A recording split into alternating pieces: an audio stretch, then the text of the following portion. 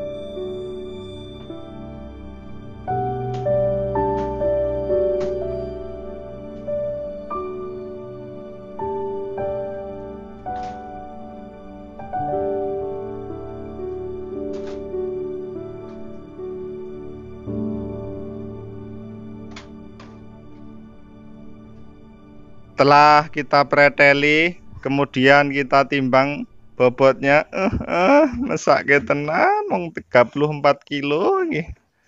Duduh. Jendus ora iki cah-cah. Sendus ora iki cah-cah. 34 kilo tok cah.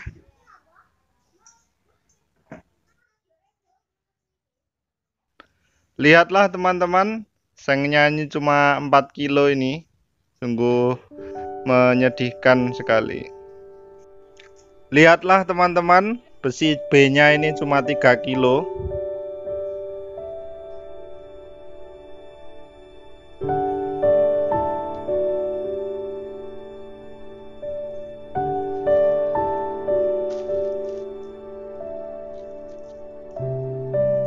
Demikianlah teman-teman borongan gerobak hari ini yang ternyata jendus 47.000 Untuk menyiasatinya saya harus menjual underdeal ini yaitu torpedo dan ban bekas ini harus senilai 50.000 Paling tidak ya torpedonya ini akan saya bandrol 30.000 kemudian ban bekas yang masih bagus ini akan saya bandrol 20.000 supaya untuk menutup kerugian. Ya nasib nasib namanya suka orang pemborong amatiran ya bos kayak ini lah. Ternyata berat di kayu dan asbesnya. Oke teman-teman semoga video ini bisa kita ambil hikmahnya. Assalamualaikum warahmatullahi wabarakatuh